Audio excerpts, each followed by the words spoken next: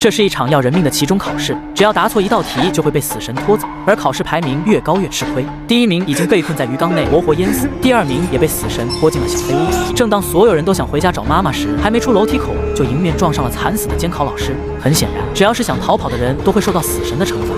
就在这时，广播内传出一声惨叫，让他们休想逃跑。但看了视频、点赞加关注的除外。很快，死神就再次给他们出了第二场考试，让他们在几百个汉字中找出“知足不辱，知止不殆”这八个汉字。可因为小西巴的汉字只是入门级，同学们全部看花了眼。这时菜花提出让他们一人找一个汉字，班主任立马组织学生们开始寻找。